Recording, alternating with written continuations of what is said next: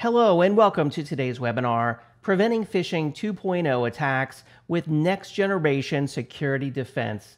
This event is brought to you in partnership with SlashNext and produced by ActualTech Media. My name is David Davis of ActualTech Media, and I'm excited to be your moderator for this event. We encourage questions on this event. You should use the questions box. It's on the left hand side of your audience console, and we'll be doing our best to answer those questions throughout the event. We also encourage you to check out the handouts tab where you can find out additional information on the SlashNext solution. And finally, if you're watching this event live, we will be announcing the winner of our Amazon $300 gift card at the end of the presentation. If you're watching on demand, I'm sorry, the drawing has already occurred. The prize terms and conditions can be found in the Handouts tab. And with that, I'm excited to introduce you to today's expert presenters. They are Mr. Patrick Harr, Chief Executive Officer at SlashNext, and Mr. Paul Guerra, Chief Security Officer at the Argo Group. And with that, Let's get started. Paul and Patrick, thank you so much for joining us today. Pleasure. Thank you.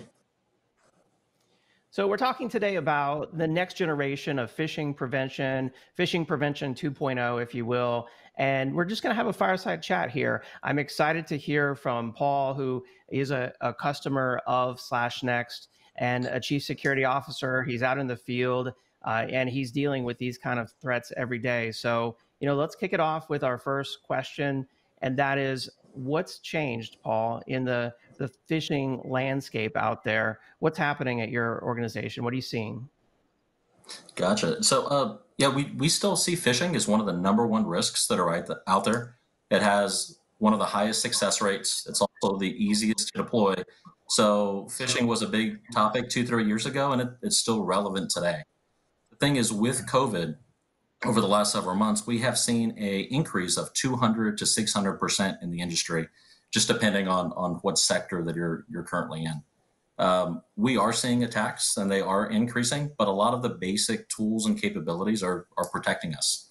However, we're seeing a lot of our SMB partners uh, and, and smaller vendors that don't have the right technologies in place. They may not have a full IT department. They may not have a full security department, those are the ones really getting getting impacted. But we are seeing some of the bad actors using the same tactics, the same approaches that we've seen before. Now they're just, you know, they're they're interweaving COVID, some of the political things that are out there, some of the social events that are out there, and you know, whatever's in the in the news this week, that's what they're leveraging. They're hoping people are going to go and click on those. So uh, we're really focusing our time and energy is how do we train and keep our third parties and even our fourth parties aware and you know um, you know being more careful absolutely yeah it's it's a scary time uh, patrick what are you seeing yeah, it's it's pretty. Uh, you know, uh, obviously, as Paul highlighted, we've seen a, a few different trends happen, uh, particularly obviously with this shift to uh, to remote working, remote learning. Um, we have a what we would characterize as the world's largest phishing database. And in that database, uh, we've seen a, just a significant increase. Uh, in fact, COVID related attacks have been a 3,000% increase uh, since March 15th. Uh, so not only are we seeing these, these attacks, but we're also seeing the sophistication of these attacks uh, move beyond email. Uh, I, I, think everyone thinks of email and phishing somewhat synonymous, and they think of it in many respects as a personal email problem. Um, if you've ever had the, the pleasure to, to uh, see the social uh, dilemma, uh, you see the the fact that these bad actors, uh, or you see the, the social networks have the opportunity to use supercomputing techniques, AI techniques to actually target users and manipulate those users. Uh, we're seeing that exact same thing on the phishing side, where you have just mass amount of compute power out there and the ability to hijack algorithms, basically target the weakest link, which are users. And uh, as Paul noted, the, the number one security threat is phishing. And so with that, we're seeing these phishing attacks not only in email, but we're seeing dramatic rise in SMS.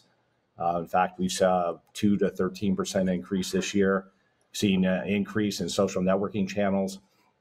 Uh, when Twitter got taken down six weeks ago by the 14 year old, that was a Bitcoin scam that we saw uh, literally in the middle of 2019. Uh, we've seen rogue browsers, software extensions, um, you know, housing phishing attempts. We've also seen in collaboration services like Zoom. Um, I'm sure your kids are on Zoom, uh, but also workers, right? And so you're seeing these embedded attacks all over the place. Bottom line, as I as I like to say, you have to really fight now machines with machines, and because uh, that's that's really what these bad actors are doing. They're targeting it to you, and they're they become very sophisticated, and they're doing it across all these channels. Absolutely, yeah. I mean, great points. A three thousand percent increase. That's just uh, just unbelievable. And you make a great point. We have to do more than just tell our end users, "Hey, don't click the link." Right? We we have to do better than that. So, I mean, uh, Paul, uh, I'll take this back to you. What what are you seeing around mobile devices and endpoint targeting? Yeah, so we, we are do, we are seeing an increase in voice and in text, um, and, and as Patrick noted, uh, social media is increasing as well. Uh, email is still the number one that, you know, that at least that we're seeing internally. And one of the things that we focused on is we're we're trying to understand why are people clicking. And what what we found out, uh, kind of just through our research, is there's four main categories. So number one that makes up about 50% of those cases for these repeat clickers is performance management. So it's it's part of a larger issue, but sometimes you have employees that maybe are clicking a little too much, but there's a there's a strong correlation. They're in sales, maybe they're not hitting their sales goals. Maybe they're not hitting other goals or other other things that the company is is really focused on. So that's not the job of the security officer. Um, so we put that back on HR and on the managers. Please performance manage. So that that's number one with 50%. The the other piece is being distracted. Um, so I think we're all guilty of this. We're watching TV, the game is on, and we're on our phones and rolling through and we're looking at Facebook, we're looking at Instagram, we're looking at whatever else. And sometimes you're mindlessly just scrolling, right? So what happens is that's your work, that's your that's your personal, but then you have your work and you take those same bad habits into your work email. And sometimes people are on a Zoom call or they're doing something else or listening to someone and they're just scrolling through their mobile device and they're not really thinking. So one of the things that we, we train our, our employees on is uh, you have to be, when you're in your email, be 100% attentive. Be mindful. Sometimes you have to stop, pause, and think. Take five seconds. And before you click on that link, and you take that five seconds, sometimes you're going to you know you're going to get that feeling it's like ah, i don't know if that feels right and that's what we're looking for people to really do is change that behavior and sometimes that's that's difficult to do so we want people to think of their inbox as risk anytime you log into it that is a risk that is being presented to you not just at work but also at home as well so it's that behavioral change so that's around 25% uh, there's about 15% that we see that look they're just not technically savvy i think of my parents they're in their mid 70s they're they're not technically savvy. You know, uh, they're okay on their phones, but you know, there's you know when when it comes to example to their bank, uh, they walk into the bank still. They don't do anything online. They may have they may use their ATM card, but they still write checks, right? So my my my parents are afraid that they're going to click on the wrong link and someone is going to drain their bank account. So what we went and did, we walked down to the bank and we removed online access for them. Now they don't have to worry about it. So now the same thing persists with our employees as well. If you have somebody in the claims department or finance department, how do you give them the minimum technology needed for them to be successful in their current role? No more, no less. And a lot of times, you know, for, for some companies, they don't make that a part of the hiring process. That should be something that we're looking for. And it's that there's the minimum bar. Let's let's aim for something a little bit higher uh, whenever we hire the next round of employees. Uh, so that's about 15%. And the last percentage, the last 10%, is people that are just not security conscious. They're well intentioned, they're good people. They just haven't had the right amount of security training. And sometimes the online training that we do isn't enough. Maybe you have to do it in person. And maybe some people learn in different ways. So by asking questions or more visually. So we're, we're coming up with different ways to educate people to help with that last 10%. And what we've what we've been finding out is a little goes a long way with that last demographic. Excellent points. I mean, this uh, principle of least privilege that we've heard about, you know, for years in security, it really needs to be applied kind of across the board. Uh, you make a point of removing access to things that people don't really need access to, and then being mindful when they're using email and, and mobile devices. Um, Patrick, what's your take? Well, it is pretty interesting. I, I just before we uh, got on this call, I was actually uh, lamenting a little bit how my uh, my daughter every once in a while takes my my my business device uh, because we're all working from home, we're learning from home, and she uses it right. And, and so lo and behold, I see some Chrome, uh, you know, uh, Google Chrome browser extensions, and all of a sudden my machine starts going crazy. Um, and, and, so I think this is a pretty big point as we see right now, particularly on the mobile side and, and this remote working, remote learning on your PC or your Mac. And, and that is that, as Paul noted, it's almost like in the same 15 minutes, you go between your work email to your personal email over to Facebook Messenger, back into Zoom. You go into someone SMSs you, and next thing you know, they've lost that attention. Uh, I think, as Paul, as you noted, um, and, and, that's the danger, right? In the second aspect here, yes, yes, people try to do uh, computer-based training, right, to target, and, you, and we typically see this the top three to five percent. Uh, you always see the same people clicking, right? The, the in within the uh, corporation. That's the reason why we like to give that information of who's clicking, what department, etc. But what we do find in the computer-based training, like with any computer-based training, once you take it, you somewhat go away, right? And you, okay, okay, there was that thing they made me do.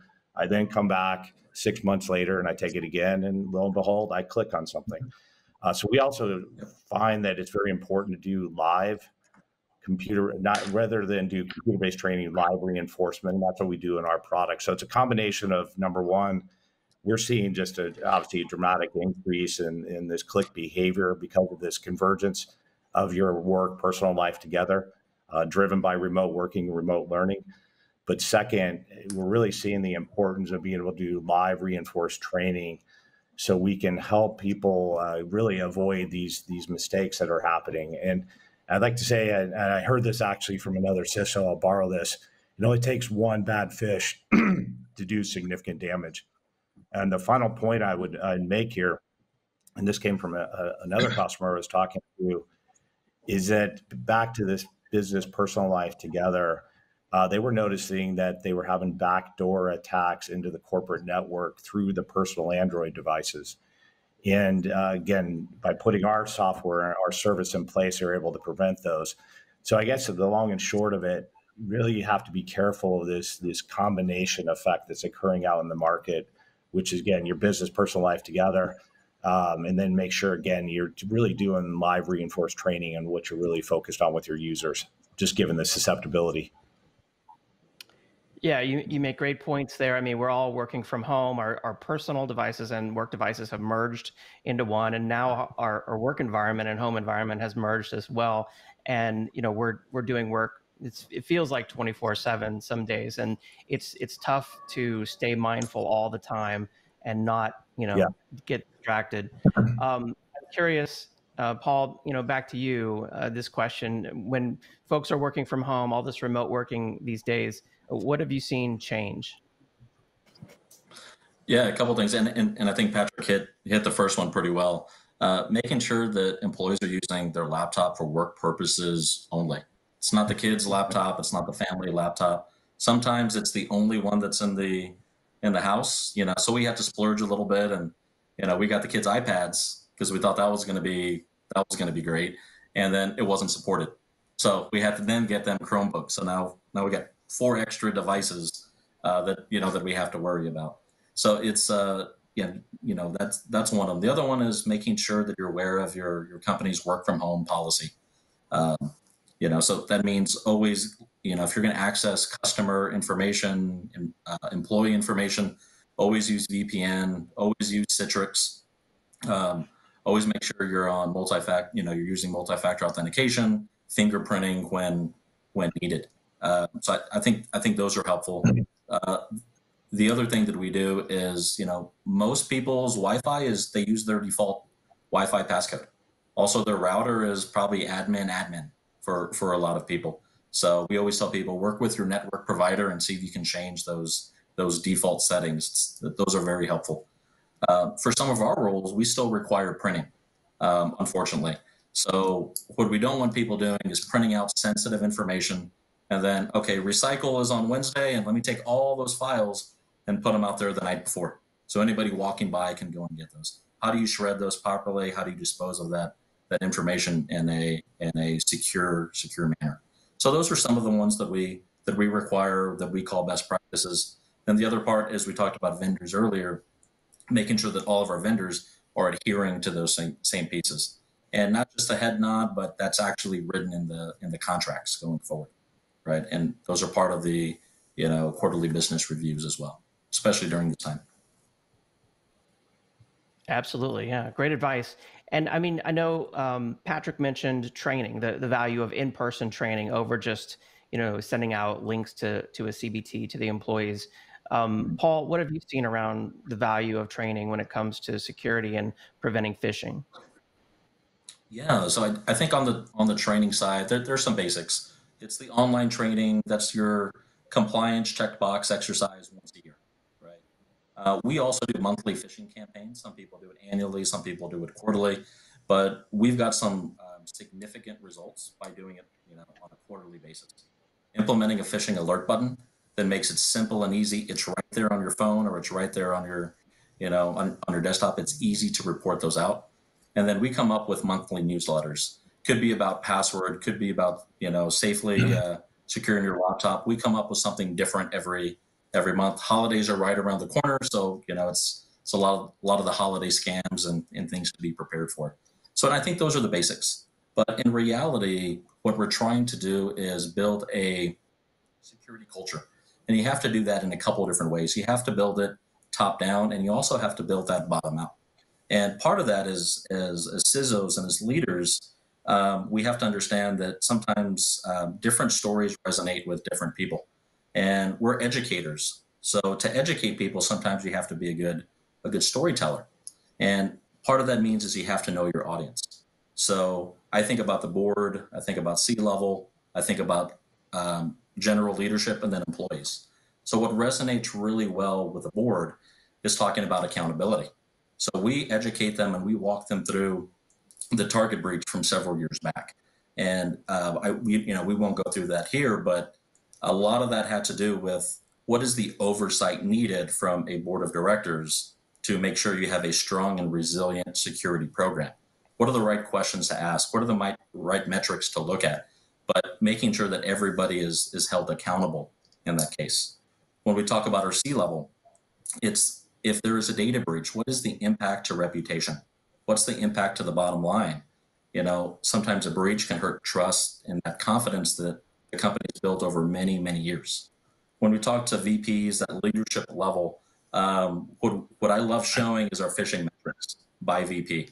So we show the heroes and we show the zeros right? These are in green, these are in yellow, these are in red. And I just put up the slide and yeah, there, there's just really good conversation that goes on. Right after those presentations, uh, within an hour, I get four or five requests to go present at their at their next town hall. So it, it, it always works works out very well. And then on the employee side, um, part of that is it's the education piece, telling employees why it's important. And I think one of the things that have that's been most successful for me is making those parallels between their home, their family, their kids, their parents, their grandparents, and then work. It's the same controls, it's the same risk, it's the same thing. And if we can help educate and, and keep their family safe, they're going to also in turn make the company safe as well. Yeah, excellent points all around there. Um, and you make a great point about how different types of employees need different levels of training. You know, the executives need uh, a different form of training than just the frontline workers who might have access to only a, a simple email box. And that executive, you know, compromise is just such a dangerous threat these days. Um, Patrick, I wanted to ask you about, you know, next generation phishing pre- uh, prevention and protection. I mean, traditionally, phishing security uses uh, domain reputation, URL inspection, and specialized security researchers to try to prevent these, you know, kind of phishing attacks. But I know that for a lot of companies out there, that's really tough to to implement. Um, so, what are your yeah. thoughts on that? Yeah, so clearly, uh, as I, as I noted at the outset, we've seen a pretty significant shift in, in the phishing landscape. Um, what I'd characterize moving from 1.0, which is human static, uh, more the human forensics, reputation based uh, approach to looking at phishing. What I mean by that is that Google.com establishes a, a, reputation over time. But as we've seen in, in GC and Google Cloud as, a, as an example, they are, they're hosting 50,000 uh, phishing attacks right now. And it's because they're nested inside the reputation, right? So, I, what uh, again, coming back, we've seen a really a, a, pretty significant elevation or change from 1.0 to what I'd characterize 2.0.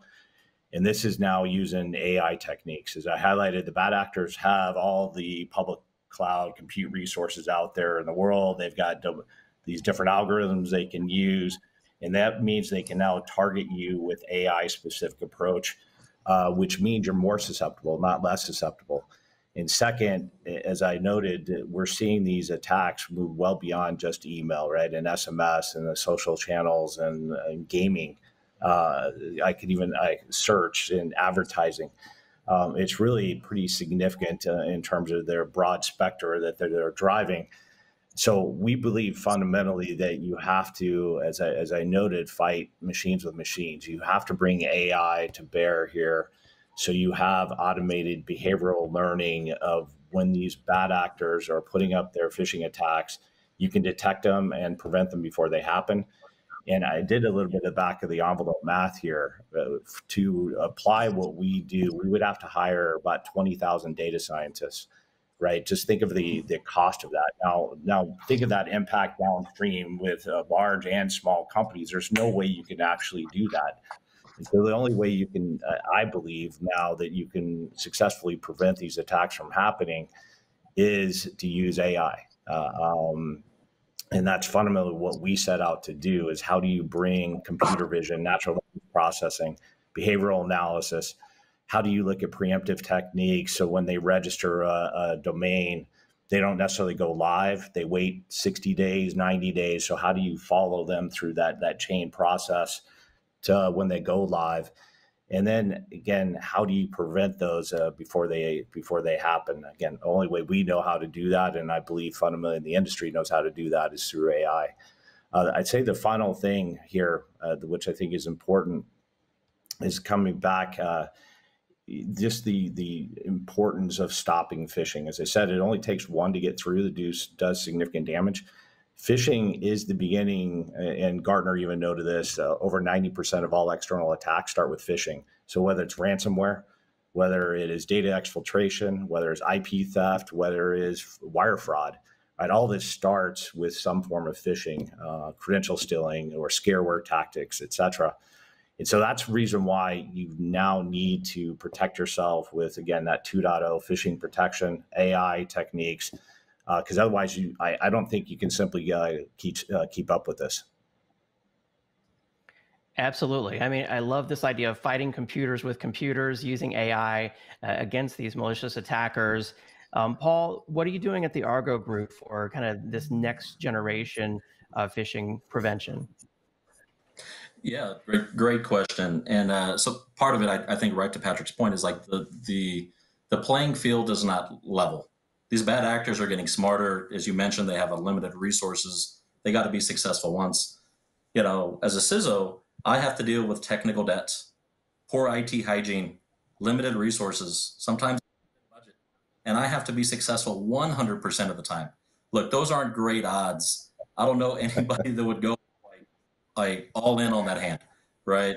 So we have to be innovative. We have to figure out how do we change our odds a little bit so the house doesn't always win and part of that is partnering with with companies and like SlashNext to bring ai and machine learning to that forefront right? And that that's one of the many things that we have to do.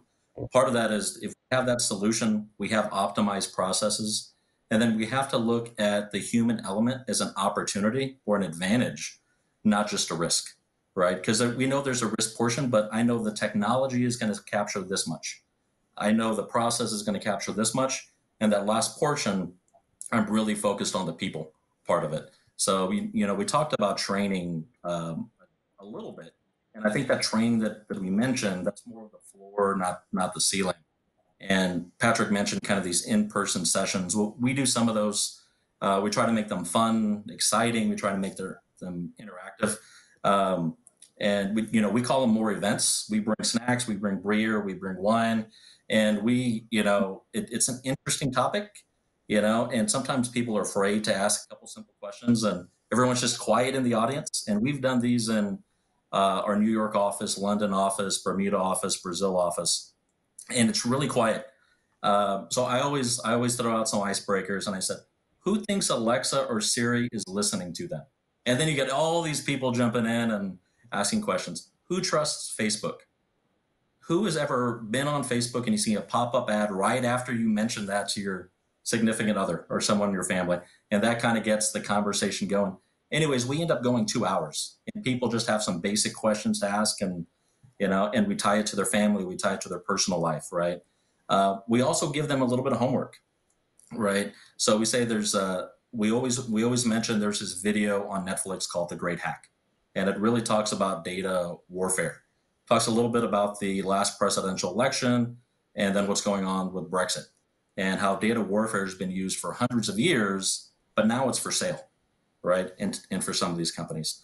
Uh, we also show them a video of the Facebook FTC settlement video that has some very eye-opening um, findings by the FTC. So when we talk about data privacy, data breaches, how do we keep our information and data data secure. Uh, one of one of the things that we're looking to implement in the next uh, in the next year or so, it's kind of a training 2.0 to accompany kind of the SlashNext kind of 2.0 piece. And part of that is is not basic training, but everyone's been to an escape room or heard of them. Well, there's a company called Living Security. They do a cybersecurity escape room. So everyone's looking for team events, and you know we've had happy hours, we've had morning coffee, but to do a an event that can bring a team together during this time is great. And also get a little security training and makes it fun and different. One of the things they also do is a family first series. Uh, they're two minute videos and they talk about how do you keep, keep your kids safe online? How do you keep them safe when they're gaming? So just those two, three minute videos give parents a really good way to protect their children, you know, their, their number one asset, right? And I think if we can start to build that that uh, and instill that culture from an employee and a family perspective, that's easily a very easy to carry on to the work environment as well. Wow, how exciting. I love this idea of making security education fun and interesting and personal as well. I mean, a friend of mine, his his baby pictures were his family's baby pictures were actually held for ransom. And I mean, there's just so many personal uh, attacks when it comes to phishing and ransomware happening um, this has got to be affecting uh, everyone's life, you know, whether it's work or personal. Um, let's move on to the next question here. Uh, I want to ask you this, Patrick. What do you think is on the horizon when it comes to using AI to prevent phishing? Yeah, I, I previewed a little bit of this uh, in, the, in, the, last question. Um, so, as again, as I noted, uh, with the just dramatic decrease in compute power, right, uh, or compute costs, I should say, and the dramatic rise in compute power, you now have these uh, these bad actors be able to take advantage of that to, to, target not only, I would say, global attacks of phishing aspects, but now targeted attacks. So that we've seen in our labs, and I'm sure Paul, you've seen this even firsthand, that they're now starting to tar- target you as a singular individual or a set of, or a small group of individuals. And the reason why they're able to do that, they're they're able to look at the behavioral aspects going on. They back to this point of all that data is out there. They can somewhat get uh, some aspects, some data, whether it be in LinkedIn.